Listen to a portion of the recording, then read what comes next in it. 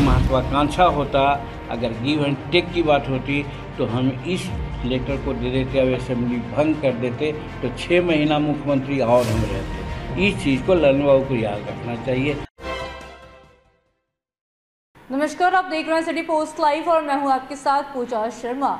महागठबंधन से अलग होने के बाद बिहार शरीफ पहुँचे हैं पूर्व मुख्यमंत्री जीतन राम मांझी। इस दौरान ललन सिंह पर हमलावर दिखे हैं। और साफ़ तौर पर उन्होंने कहा है कि जो बयान ललन सिंह ने दिया है कि जितन राम मांझी छोटी छोटी दुकान चलाते हैं, वो बेहद गलत है, शोभा नहीं देता इस तरीके का उन्हें बयान देना। इसी के साथ साथ जितन राम मांझी ने साफ़ साफ़ कह दिया कि वो महागठबंधन के साथ नहीं थे, वो नीतीश कुमार के साथ थे। पूर्णिया में नीतीश कुमार के साथ रहने की जो कस्में खाई थी, उससे मुक्त खुद नीतीश कुमार ने उन्हें किया है। इसी के साथ साथ उन्होंने बताया कि मुख्यमंत्री नीतीश कुमार ने जब उन्हें ऑप्शन दिया कि या तो आप अपना पार्टी जेडीयू में मर्ज कर लीजिए, नहीं तो फिर छोड़कर चले जाइए। उसके बाद जितन राम मांझी ने फैसला लिया और नीतीश कुमार को छोड़ दिया। ये सब कुछ बताते हुए नज़र आ रहे पूर्व मुख्यमंत्री जितन राम मांझी। आगे क्या कुछ कहते हुए नज़र आ रहे हैं? पहले आपको हम वो सुनाते हैं। हाँ इस बात को भी सुनिए। दुकान चलाने का मतलब होता है खरीद फरोख्त। तो बड़े आदमी हैं, नेशनल लीडर हैं, नेशनल अध्यक्ष हैं। इतनी छिछली बात उनके मुँह से शोभा नहीं देती है। हम कह सकते हैं कि वो साबित करें कि क्या हम गिव एंड टेक किया।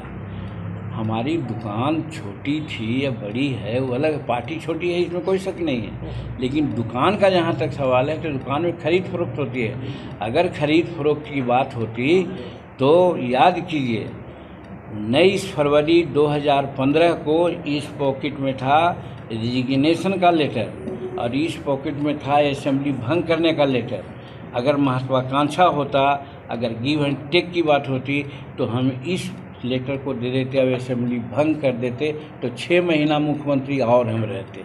इस चीज़ को ललन बाबू को याद रखना चाहिए या आप लोगों को समझना चाहिए।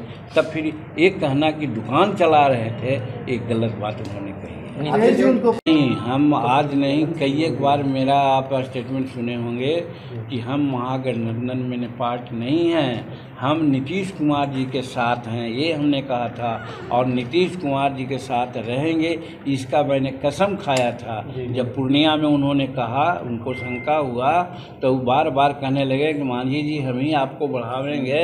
तो हम कहा कि इनको शंका हो गया है। तो इसीलिए जब महागठबंधन की बैठक हो रही थी उसमें हमने कसम खाई थी कि माननीय मुख्यमंत्री जी आपको किसी ने बरगला दिया है आप ने हमको इज़्ज़त दिया है हम जब तक आप रहिएगा तब तक हम आपके साथ रहेंगे हम माँ का कसम खाते हैं।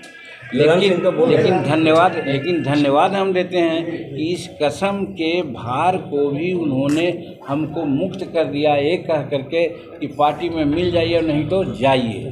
तो जब जाने की बात आ गई तो कसम आपने साथ नहीं छोड़ा नीतीश कुमार ने साथ छोड़ दिया। जी नीतीश कुमार जी ने हमको फोर्स किया कि आप मेरे साथ आ जाइए पार्टी में ज्वाइन कीजिए।